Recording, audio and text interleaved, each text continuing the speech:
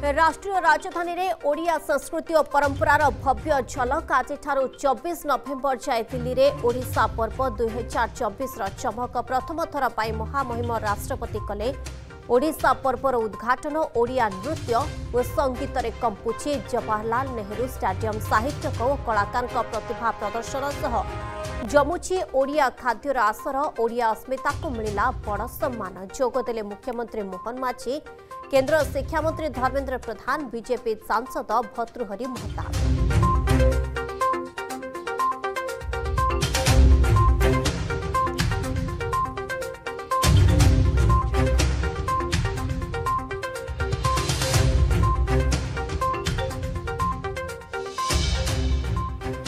ଅଯୋଗ୍ୟଙ୍କୁ ମିଳିବନି ଜାଗା ଜାଗା ହରାଇବେ। ଜାଗା ମିଶନ ଅଧୀନରେ ଏଲ୍ଆର୍ସି ହାତେଇଥିବା ଅଯୋଗ୍ୟ। ଗତ ସରକାର ସମୟରେ ହିତାଧିକାରୀ ଜାଗା ଉଭୟ ଥିଲା ବିବାଦରେ। ବିଜେଡି ସରକାରରେ ଜାଗା ମିଶନ ଥିଲା ପ୍ରଚାରର ମାଧ୍ୟମ। ଏବେକାର ସରକାର ନେଉଛନ୍ତି ଦୃଢ଼ ପଦକ୍ଷେପ।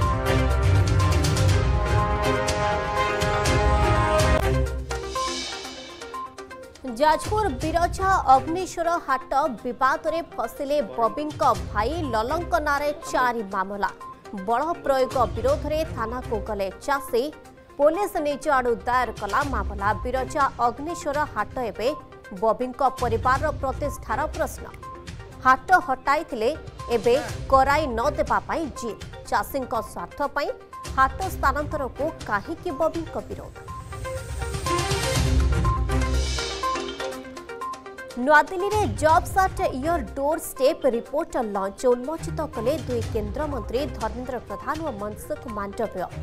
ଯୁବପିଢ଼ିଙ୍କୁ ଆତ୍ମନିର୍ଭରଶୀଳ କରିବା ସହ ରୋଜଗାର ଯୋଗାଇବା ଲକ୍ଷ୍ୟ କେନ୍ଦ୍ର ଶିକ୍ଷାମନ୍ତ୍ରୀ କହିଲେ ବିଶ୍ୱ ବିକାଶର ସାରଥୀ ହେବ ଭାରତ। ଦେଶକୁ ଗ୍ଲୋବାଲ ସ୍କିଲ୍ ହବ୍ କରିବାକୁ କଳ୍ପନା ରଖିଛନ୍ତି ପ୍ରଧାନମନ୍ତ୍ରୀ।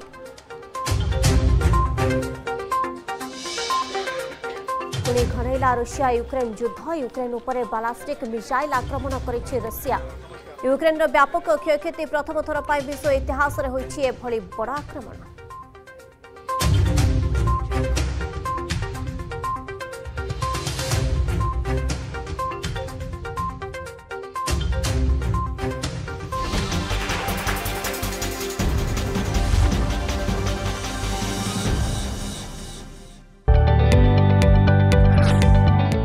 जदि आपंक आम भिडी भल लगा तेब आम चैनल को लाइक सेयार और सब्सक्राइब करने को जमा भी बुलां नहीं।